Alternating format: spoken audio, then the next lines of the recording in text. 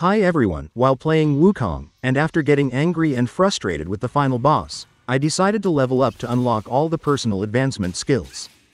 After watching a few videos, I discovered that the most convenient area was Pool of Shattered Jade, and after getting the transformation I needed, quest for me. It was hard to find it, but you have I started farming. And after going back and forth for 5 minutes, I said to myself, why don't we automate the process?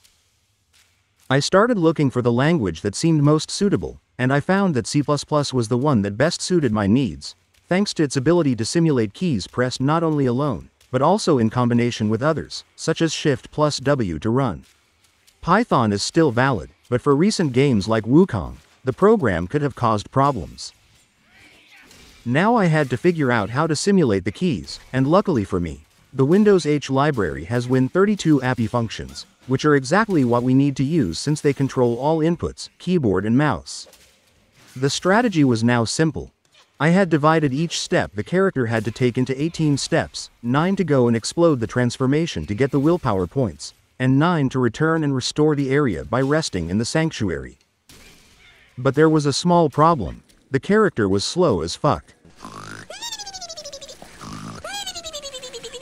For some reason, even though I was using the version of the program written in C++ and not Python, the game did not read the keys pressed in combination. I realized I had to redo everything.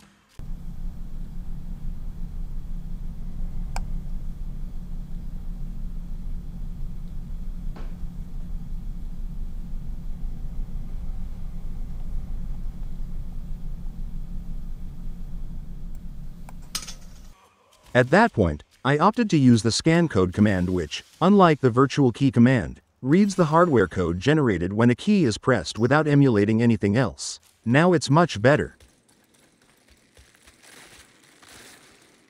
But that's not all, because I had to set both the degrees of rotation of the view, and how far the character could run forward.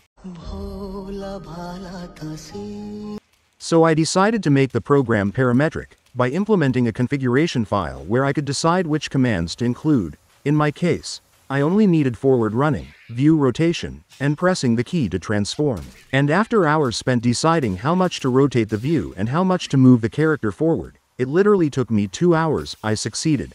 This is how it works.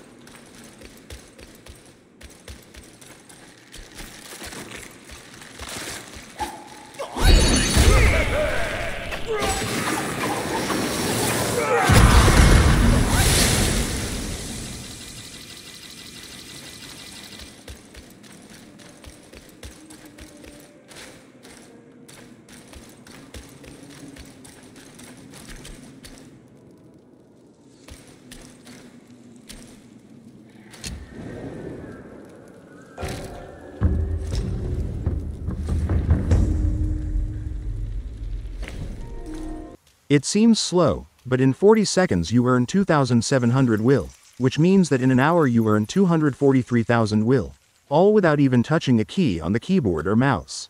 For today's video is everything. You can find the program in the link in the description, along with the .cpp file and the configuration file. Remember to subscribe, leave a like, and comment if you want a program that works in any game and emulates all keyboard commands. See you in the next video.